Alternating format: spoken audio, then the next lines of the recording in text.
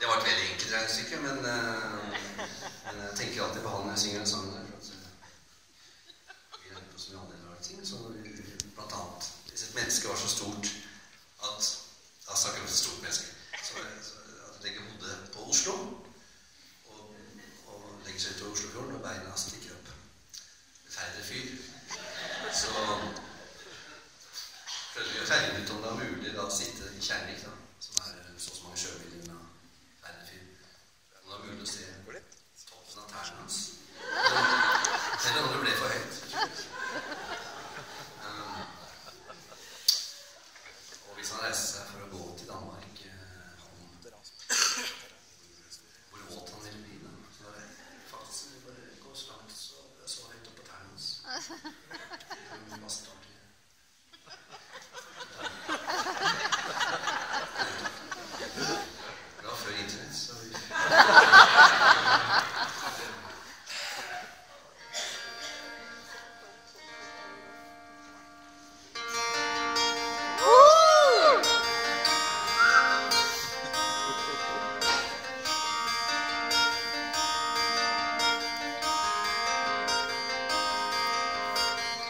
Raserbåt kjører ganske fort mot Danmark. I raserbåt sitter noen blide typer. Verden er hvit og blå, sommeren lever dor. Pils er mer alkohol, og jeg syns det er ganske tøft. Jeg syns det er ganske er ganske tøft.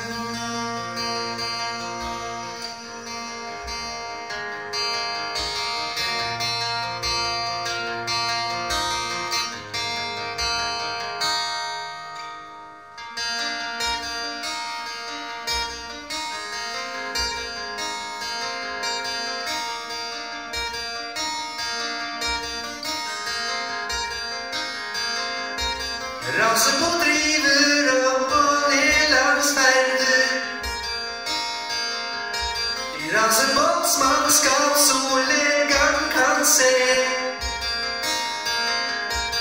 Sender eh, svart i bølger onsdag mer enn.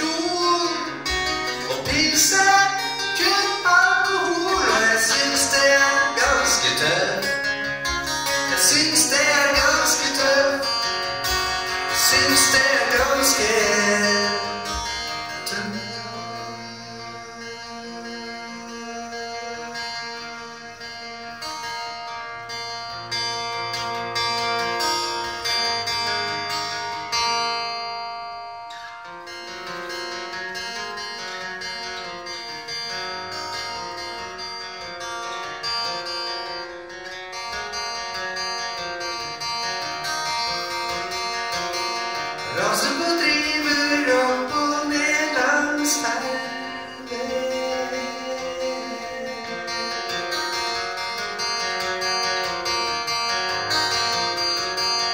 see it all.